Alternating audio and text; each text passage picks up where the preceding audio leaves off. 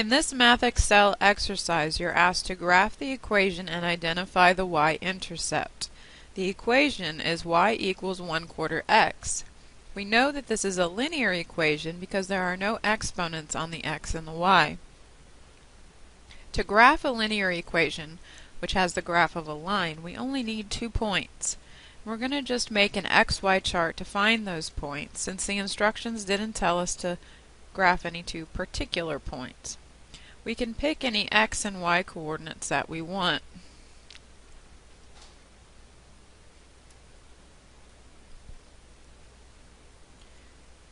We start by deciding which x coordinates we're going to use, and then we plug those values into the equation to find y. Since the equation is y equals 1 quarter x, we want to find x values that are divided easily by 4 because multiplying by one-fourth is the same as dividing by 4.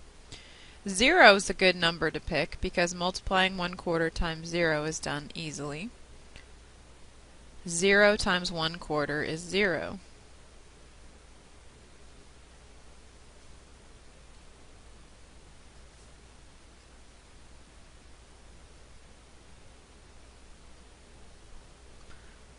Four is also a good number to pick because one quarter of four is the same as four divided by four, which is one.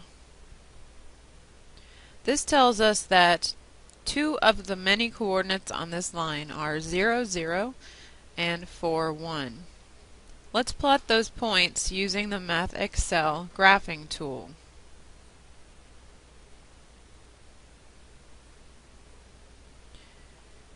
To use the MathXL graphing tool, click on the little magnifying glass in the upper right corner.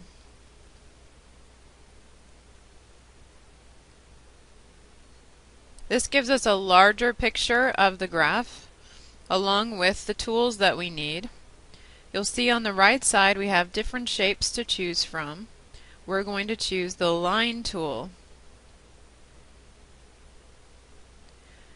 To plot points, we can scroll around the graph and see the different x and y coordinates highlighted.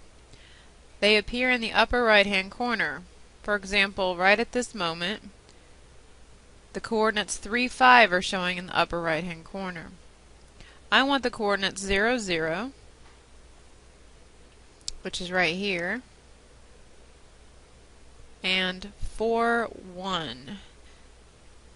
Now notice that 1 is only part way up to the first tick mark because this scale is given in twos.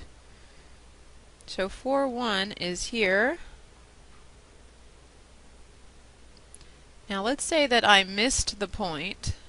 You can also drag the point around by clicking on it and dragging it around to correct your error. Now I have the line I want, so I click Save. And now I'm going to check my answer. And looks like we got it right. So the next part of the question is to type the coordinates of the y-intercept. Now we actually found the y-intercept because one of the x-coordinates we used was 0, and that's how you find a y-intercept. You plug in 0 for x and solve for y.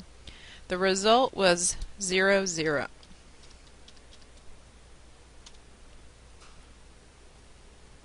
And that concludes this exercise.